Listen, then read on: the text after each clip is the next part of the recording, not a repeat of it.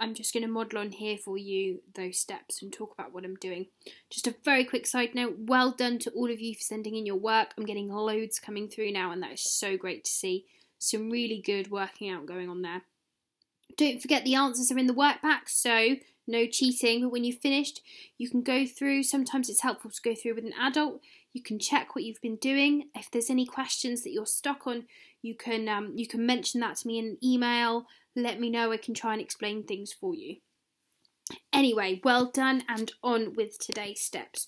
So, today's learning intention is to demonstrate that we understand two digit numbers multiplied by two digit numbers. So, what we're trying to show is we know what's happening when we're multiplying two digit numbers, and we use the grid method for that. So, you might be able to do these mentally, you might prefer using the column method, that's fine.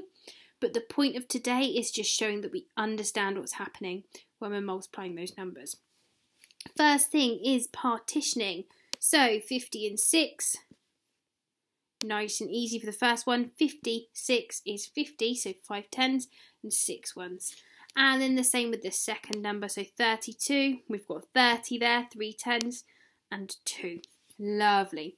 Then set out the grid. So I've cheated a little bit over the side of my screen here. I've got one I made earlier. It's a little bit wonky, but should do the job.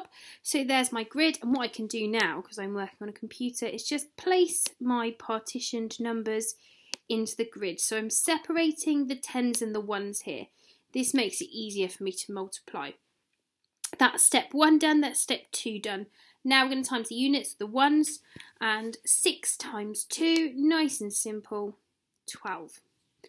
And then we move on to the tens. You can use smile multiplication for this, which we've practiced quite a few times over the last few weeks, particularly in mental maths. Let's start with 50 times 30.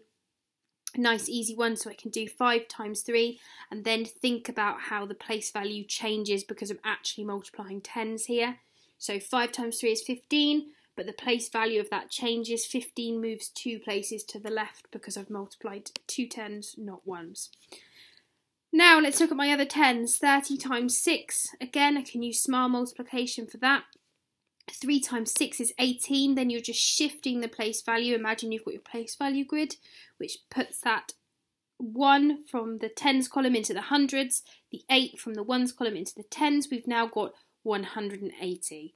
So, to summarise, we times the tens so far. We've done 50 times 30, which is 1,500. We've done 6 times 30, or 30 times 6, which is 180.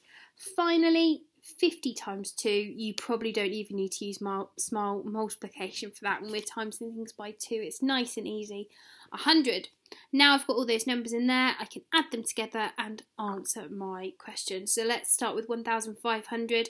I'm going to add 100, 1,600, add 180, that's 1,780, plus 12 is 1,792.